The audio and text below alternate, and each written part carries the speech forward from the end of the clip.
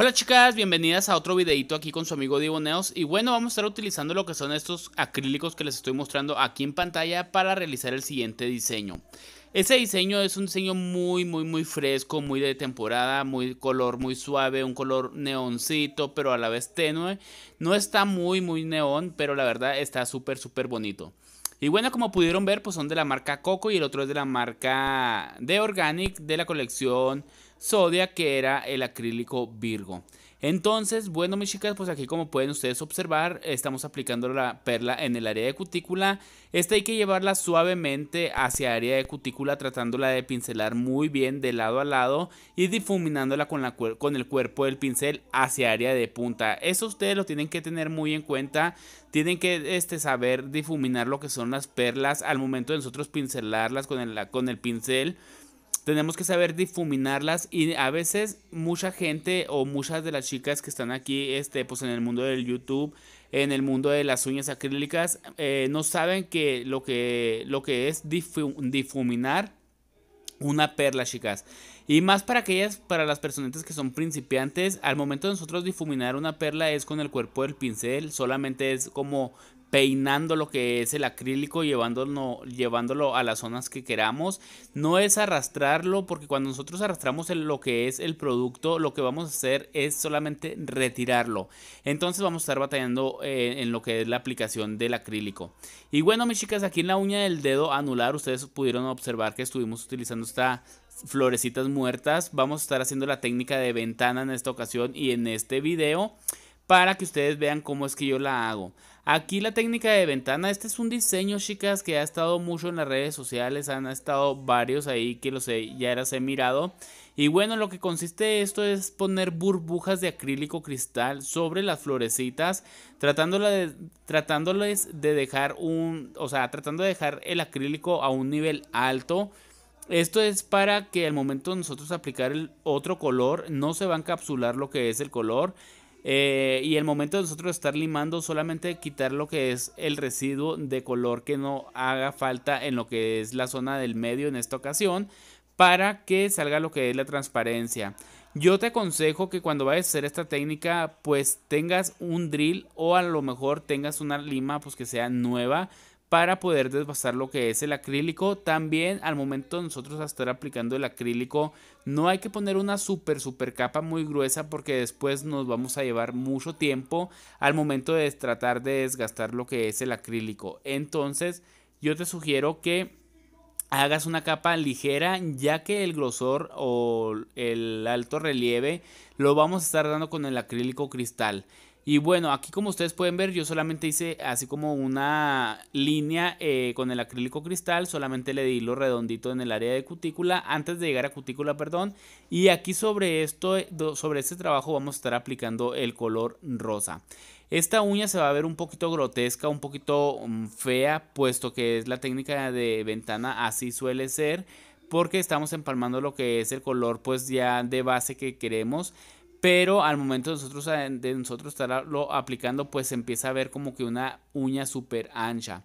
También te sugiero que cuando vayas aplicando lo que son las perlas o ya sea en el área de cutícula o en laterales de la uña natural, eh, te fijes muy bien en que el producto no te quede pegado en área de piel. Con eso vas a evitar que se te levanten las uñas antes de tiempo y tu trabajo te va a durar mucho más o vas a estar garantizando lo que es tu trabajo por mucho más tiempo. Aquí lo que vamos a estar haciendo es aplicar el color rosita desde área de cutícula hacia área de punta. Empezamos con la primer perla en el área de peralte, la difuminamos muy bien hacia área de punta y vamos a empezar a poner otra perlita más para darle un poquito de grosor ya que estas uñas no las vamos a estar encapsulando. Si tú eres de las personas que te gusta ahorrar el producto, yo te sugiero que hagas solamente una base ligera de color y después encapsules lo que es la uña. Aquí estamos aplicando, eh, disculpen chicas, aquí me equivoqué. Aquí estamos aplicando lo que es la mezcla de la colección Zodiac de Organic Neos. Y este, en esta uña sí la vamos a estar encapsulando. Entonces eh, ahí me, equivoqué en ese paso. Pero pues no pasa nada, solamente pues les dije, em, les estaba narrando lo que es otra uña que no era la que quería, la que iba a narrar. Esta es la uña a la que le vamos a estar dando lo que es el grosor con el acrílico rosa.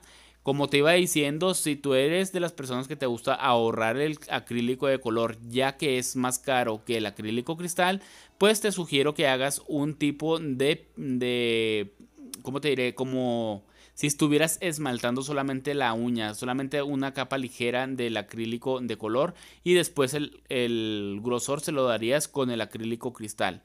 Bueno, aquí vamos a encapsular la uña que les dije. Vamos a empezar de área de peralte con una perla grande. La vamos a llevar de lado a lado y a la vez la difuminamos hacia área de punta y hacia área de, de, cutícula.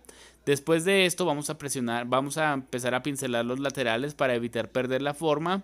Y después vamos a aplicar otra perla un poquito más grande y a la vez más húmeda en el área de cutícula.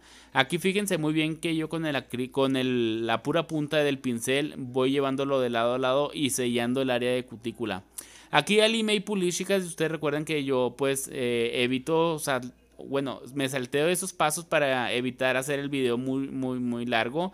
Pero pues aquí está, esta es la uña del efecto ventana, lo que hice es solamente limar la superficie como si estuviéramos limando una uña normal y tratando de retirar muy bien lo que es el acrílico rosa de la zona o de la zona o de la parte media de lo que es la uña para que las florecitas salieran a relucir.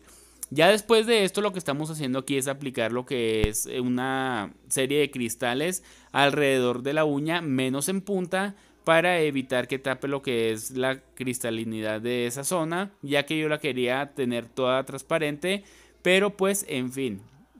Este, estamos, eh, estamos adheriendo los cristales, mis chicas, con eh, un gel eh, que es, un gel de construcción. Y, y, ¿cómo se dice? Y pues a mí me gusta adherir mucho más los cristales de esta manera, más que con resina, chicas porque se me figura como que queden mucho más adheridos, la verdad, las clientas a las que yo les ponía las uñas o así que a veces pongo uñas y les pego los cristales con este con gel de construcción. Cuando llegan a, volver al retoque o al, al, refil o al retiro de uñas, traen los cristales intactos.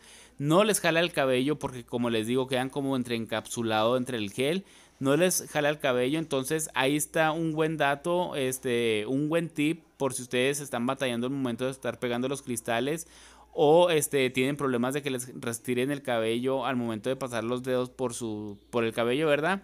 Pues adhieran los chicas con, con gel de construcción y verán que van a notar el cambio, o sea, yo se los aseguro que van a notar ese cambio y pues bueno, aquí ya solamente vamos a tratar o vamos a finalizar lo que es esta, esta uña poniendo todos los cristales en este lateral y después de esto vamos a aplicar el finish gel. Aquí en el video no les mostré que en el dedo eh, no, en el dedo índice y en el dedo meñique apliqué un cristal en zona de cutícula en cada una de las uñas. Eso fue un, un este un cristal que apliqué después que se me ocurrió y lo apliqué pero no lo grabé entonces pues ahí está el dato por si ahorita lo llegan a ver Después de haber aplicado los cristales metí a curar por 60 segundos y aquí ya le vamos a dar el finalizado a estas uñas con, la, con el gel de Coloring.